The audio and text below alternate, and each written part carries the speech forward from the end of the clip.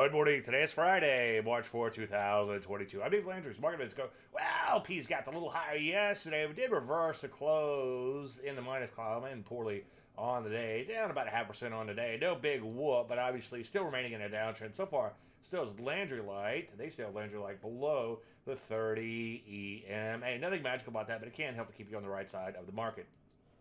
NASDAQ composite, same sort of action going on there too. As you can see, it's still below the 30 EMA and high still below the 30 EMA, what I now call Landry Light. Russell 2000, a bit of a minor double bottom like a lot of areas out there, but as I've been preaching, downtrend so far remains intact.